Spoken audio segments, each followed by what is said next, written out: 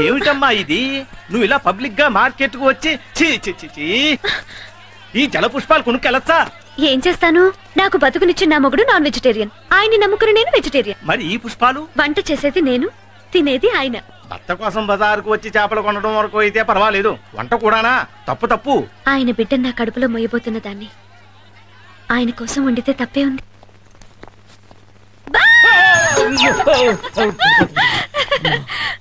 ఊరిని వణికించే police officer అని పెద్ద పేరు. కానీ భార్య భయపెట్టగానే ఒణుకు ఇదేనా మీ ధైర్యం? హలో. వంద మంది మగాళ్ళు అరిచిన డోంట్ కేర్ నో ఫియర్. కానీ ఒక ఆడది అరిస్తే మాత్రం కొంచెం భయం. అందులోకి నా భార్య అరుపంటే మరే భయం. ఈ ఊరికి రాగానే ఇదే మీరు చెప్తున్న మొదటి రీలు. ఏంటి? ఇంట్లో కూడా మీకు పోలీస్ బుద్ధే.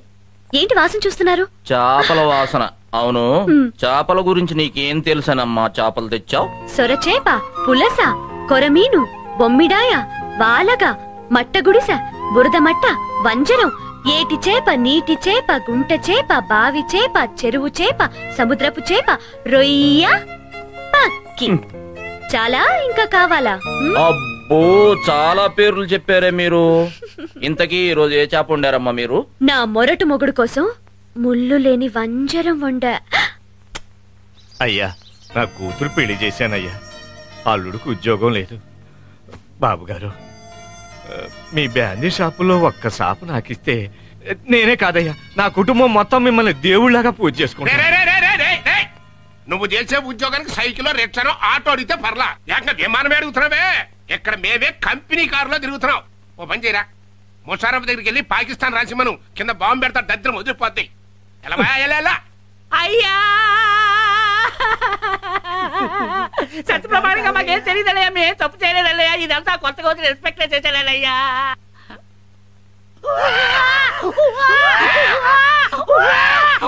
ఆయన మాట్లాడలేదు ఆయన సైలెంట్గా ఉంటే డేంజర్ మీరే నాకు క్షమించాలి ఒక్క మాట చెప్తే వెళ్ళిపోతావయ్యా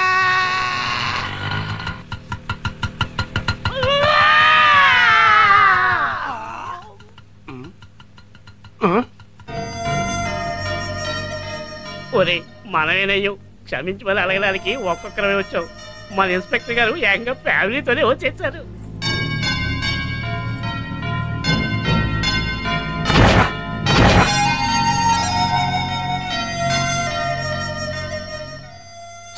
ఇప్పుడు మాకు వచ్చు. అప్. మమ్మల్ని ఆశీర్వదించండి.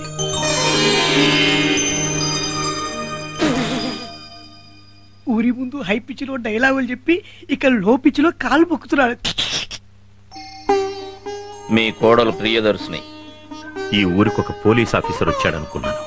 కానీ నా ఇంటికి నా కొడుకుగా వచ్చినందుకు చాలా ఆనందంగా ఉంది. నీకు పిల్లని చూసి పెళ్ళి చేయవలసిన తండ్రి నేను. నువ్వే పెళ్ళి చేసుకుని వచ్చి ఈమె నీ కోడలని పరిచయం చేస్తున్నావు. అలాంటి పరిస్థితి తెచ్చుకున్న పాపిన్ నాయన నేను. పాపిన్. వీళ్ళిద్దరు తండ్రి కొడుకులా? మనం ఈ ఇంట్లోనే కాదు ఈ ఏరియాలోనే ఉండకూడదు. పోదాం, పోదాం. ఎలా ఉంది నా భార్య లక్ష్మి? మా అమ్మ క్షేమంగానే ఉంది. మీ పిన్ని మీ చెల్లెలు గాయత్రి పృథ్వీ నా కొడుకు ప్రియదర్శిని నా కోడలు. ఆ, వాళ్ళు నరేంద్ర నా బావుమరిది వీడు రాజా అతని కొడుకు. అదేంటి బావా? వాడు నా కొడుకుని ఇంట్రడ్యూస్ చేస్తావేంటి? నీ కాబోయే అల్లుడని ఈ ఆస్తి మొత్తానికి సోల్ అండ్ హోల్ ప్రొపరేటర్ అని చెప్పొచ్చుగా? కొంచెం ఎక్కువ మాట్లాడతాడు. నువ్వేమీ అనుకోకు. మీ మామయ్య ఫ్లాష్ బ్యాక్లోకి వెళ్ళి కరెంట్ గారెలు మర్చిపోయింటాడు నువ్వేం టెన్షన్ పడిపోకరు నమస్కారం.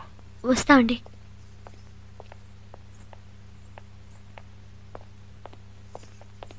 ఆగు బాబు ఆగు. నువ్వు రెండేళ్ళ కుర్రాడిగా ఉన్నప్పుడు నిన్నీ భుజాల మీద ఎత్తుకుని పెంచాను.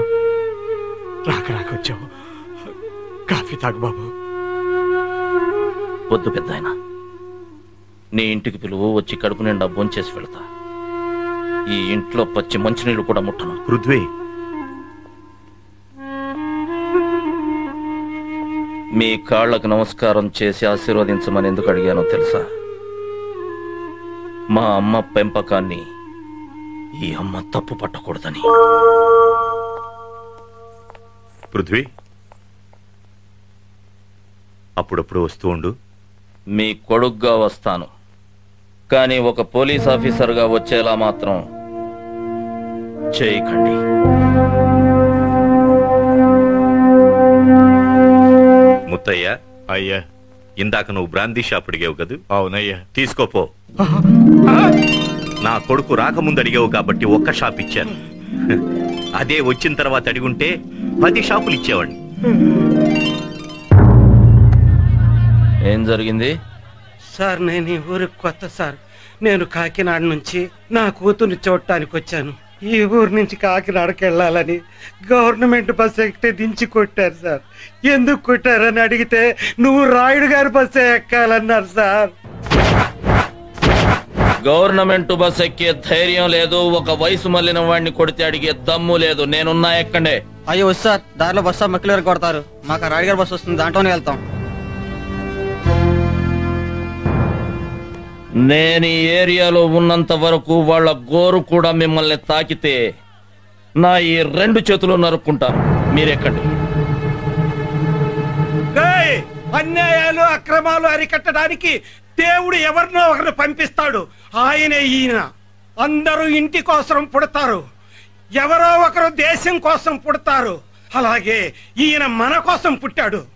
రే మీరందరూ మగ పుట్టకు పుడితే రండిరా ఎక్కండిరా బస్సు ఎక్కండి. ఏయ్ ఏంటిలా చూస్తున్నావు రా. సభాష్.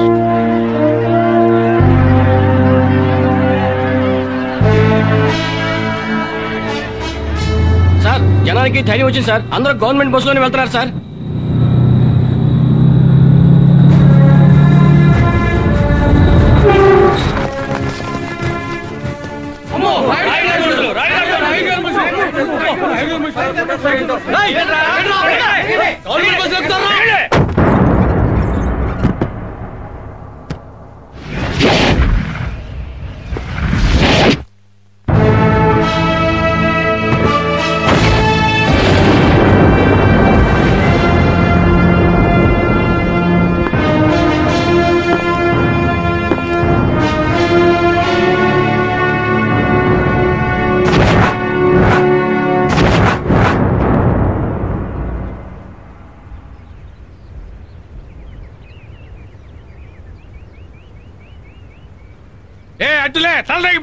ఏయ్!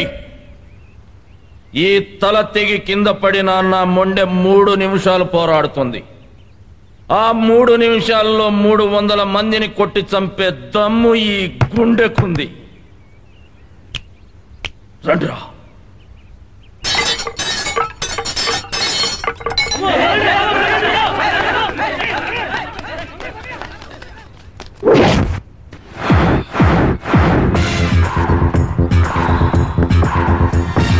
పృథ్వీ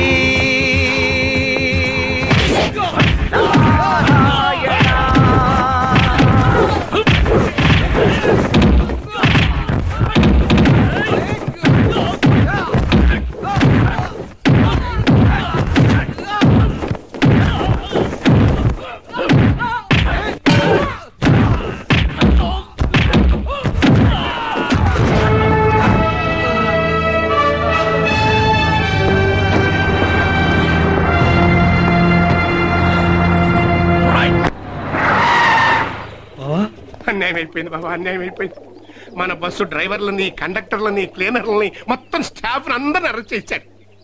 ఏమిట్రా నువ్వు చెప్పేది? అంతటితో ఆగాడా? నాలుగు బస్సులు సీజ్ చేసి పోలీస్ స్టేషన్ దగ్గర పెట్టాడు. ఎవరనుకున్నారు? నీ ఫస్ట్ క్యాండిడేట్ సన్ను ఇన్స్పెక్టర్ పృథ్వీ. ఇతనికే సంబంధం ఉందని మన బస్సుల్ని సీజ్ చేశాడు. జనం గవర్నమెంట్ బస్సులు ఎక్కకుండా మన బస్సులు ఎక్కుతున్నారని వాడి కడుపుమంట ఏ బస్సులు ఎక్కాలో ఏ బస్సులు ఎక్కకూడదో వాళ్ళ ఇష్టం ఇతనికి ఎందుకు. ఇది కాదు కారణం. అంటే బావగారు అది ఇప్పుడు అదే నువ్వేదో దాస్తున్నావు. అబ్బాయి దాయడానికి వెళ్ళదండి. ఇప్పుడు government bus. Bus private. Private government bus private. అసలు ఏం జరిగిందో నిజం చెప్పు. ఏం లేదు బావగారు. మంద ప్రైవేట్ బస్సు అవతల ఆర్టీసీ బస్సు. మన కలెక్షన్లు ఫుల్గా ఉండాలని నా చెంచాగాళ్ళు పెట్టి ఆర్టీసీ బస్సులో ఎక్కే జనాన్ని బెదరగొట్టించి మన బస్సుల్ని ఓవర్లోడ్ చేస్తున్నా. దాంతో మన కలెక్షన్ ఫుల్ ఆర్టీసీకి నిల్లు. ఏదైనా చేసే ముందు నాకు చెప్పి చేయమని లక్ష సార్లు చెప్పాను. తప్పు చేసే ముందు ఎలా తప్పించుకోవాలో ముందు తెలుసుకోవాలి. వాడా డ్రైవర్లని కండక్టర్లని ఎందుకు అరెస్ట్ చేశాడో తెలుసా? ఎందుకంటారా నన్ను పోలీస్ స్టేషన్కి రప్పించడానికి వాడి ముందు చేతులు కట్టుకొని నిలబెట్టడానికి. హ! ఎట్టి పరిస్థితిలోనూ ఈ రాయుడు పోలీస్ స్టేషన్లో అడుగు పెట్టడు.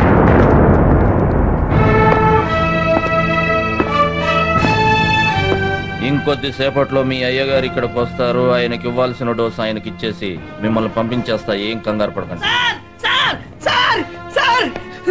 Sir మనం సీజ్ చేసిన రాయుడు గారి బస్సులన్నీ బయట తగిలిపడిపోతున్నాయి సార్. అయ్యో అయ్యో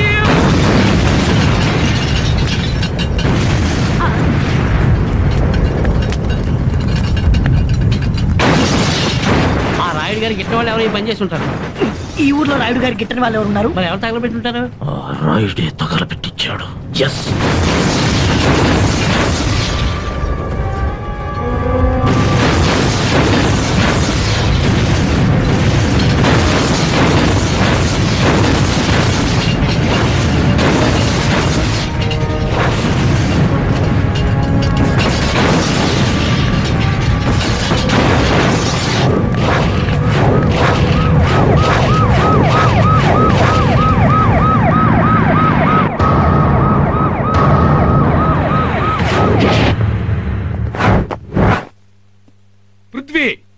what all this nuisance ఆ రాయుడు తన బస్సుల్ని తనే తగలబెట్టించాడు.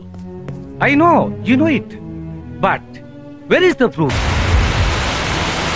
అవి తగలబడింది మన ప్లేస్లో మన ఆధీనంలో. నా బస్సులు పోలీసులే తగలబెట్టారని రాయుడు గారు కంప్లైంట్ ఇచ్చాడు నా బస్సులు నాకు ఇవ్వండి లేకపోతే ఆ సీఐని పోలీస్ స్టేషన్ నుంచి వెళ్ళిపోమనండి.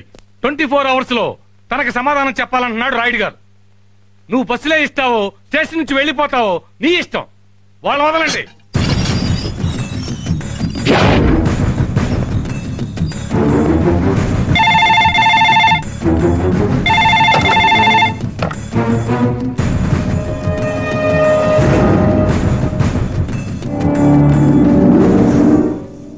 ఏం బిడ్డా బాగున్నావా? నేను రాయుడు నరసింగరాయుడు. ఏమిటి? బస్సులు తగలబడ్డాయని బాధపడుతున్నావా? వద్దు. నువ్వు బాధపడ్డా నాకు ఇష్టం ఉండదు. నువ్వు నా కన్నబిడ్డవు కదా. చూడు నాయనా నేను కోట్లు సంపాదించా. కానీ ఇంతవరకు నీ భాగం నీకు పంచివ్వలేదు కదూ? అందుకే అరగంట క్రితమే ఆ బస్సుల్ని నీ పేరున రాశాను. నీ తండ్రి నీకిచ్చిన ఆస్తిని తీసుకోవడం ఇష్టం లేక నీ బస్సుల్ని నువ్వే తగలబెట్టుకున్నావని ఇప్పుడే ఎస్పీ గారికి ఫ్యాక్స్ చేశాను. కన్న తండ్రిని స్టేషన్కి రప్పించాలని నువ్వు చూశావు. కన్నబిడ్డను స్టేషన్ నుంచి పీకేయకుండా నేను కాపాడే. ఎలా ఉంది బిడ్డ? నీ బాబు కొట్టిన దెబ్బ? రాయుడు ఏదో ఒక రోజున నా చేతులతో నీ చేతులకు బేడీలు వేసి నా స్టేషన్ సెల్లో గనుక నిన్ను తొయ్యకపోతే నేను ఆ అమ్మ కొడుకునే కాను.